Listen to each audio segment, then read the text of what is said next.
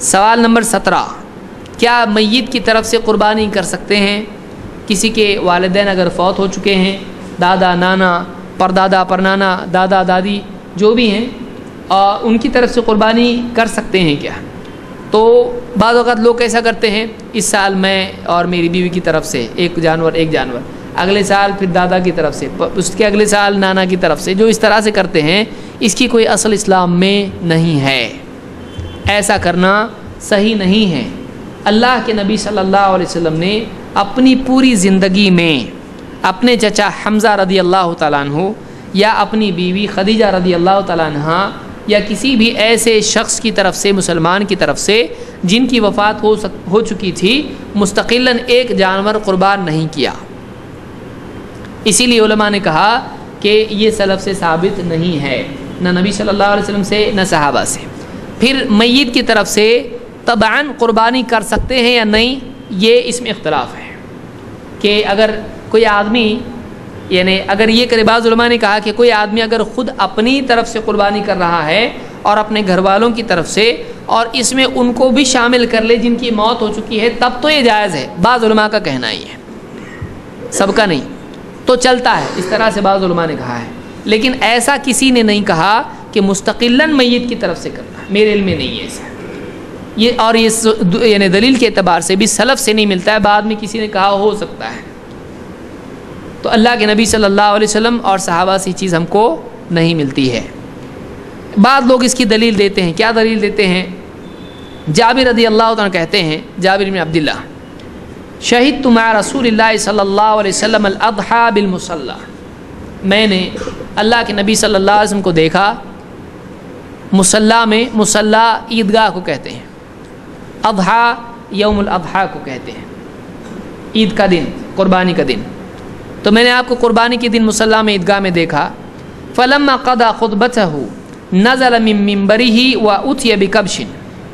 आप मिंबर से उतरे, आपके पास एक बकरा लाया गया। फ़दब हाहू रसूल सल्लल्लाहु अलैहि वसल्लम बियदी ही आपने अपने हाथों से उसको ज़बह किया।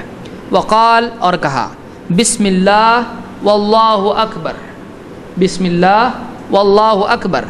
हादा अन्नी व अम्मल्लम युदही मिन उम्मती। ये मेरी तरफ़ से है और मेरी उम्मत में से हर उस शख्स की तरफ़ से है जिसने क़ुरबानी नहीं की। ये मेरी तरफ़ से और मेरी उम्मत में हर वो शख्स जिसने क़ुरबानी नहीं की, उसकी तरफ़ से है। इसको इमाम अबू दाऊद और तिरमिदी ने रिवायत किया है और यह हदीस सही है। इससे बाद लोगों ने दलील ली कि कोई आदमी, देखिए, उम्मत नबी सल्लल्लाहु अलैहि वसल्लम की जब आपने क़ुरबानी मदीना में की, क्या मक्का में कुछ लोग फ़ौत नहीं हो चुके थे? सुमैया रदी अल्लाह तह या उसके अलावा, यानी कई और सहाबा हैं जो फ़ौत हो चुके थे, खदीजा रदी अल्लाह तह तो उन्होंने कहा कि जब आपने पूरी उम्मत की तरफ़ से क़ुरबानी की तो उम्मत में वो लोग भी आते हैं जो उस वक्त थे। ज़िंदा, और वो लोग भी आते हैं जिनकी वफ़ात हो चुकी थी। तो ये आम है। तो कहा कि उम्मत में सब आ जाते हैं, ज़िंदा और मैत सब। लिहाजा इससे साबित हुआ, लोग कहते हैं कि मैत की तरफ़ से क़ुरबानी की जा सकती है। क्या ये दलील सही है? ये दलील सही नहीं है।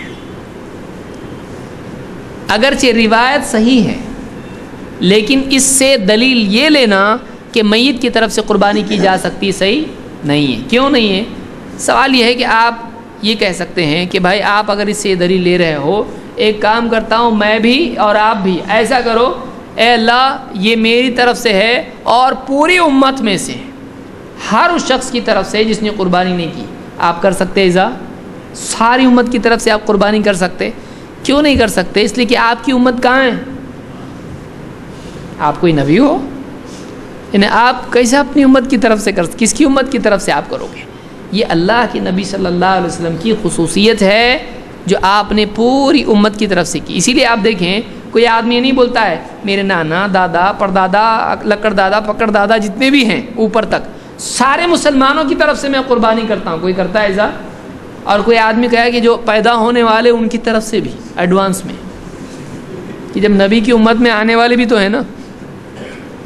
क्या जो गए वो सिर्फ़ वही है? तो इससे मैत के लिए दलील लेना सही नहीं होगा। क्यों? इससे पूरी उम्मत के लिए दलील मिल रही है। चाहे वो उस वक्त मौजूद हो, चाहे आगे आने वाला हो, चाहे माजी में रह चुका हो। तो आप उसको माजी वालों के साथ ख़ास करें, कैसे सही हो सकता है? तो इससे वो साबित करना सही नहीं है। इसमें बेहतर चीज़ यही है कि इसको ये माना जाए कि ये ख़ास है अल्लाह के नबी सल्लल्लाहु अलैहि वसल्लम के साथ, क्योंकि आप ही की उम्मत थी, हमारी कोई उम्मत नहीं है।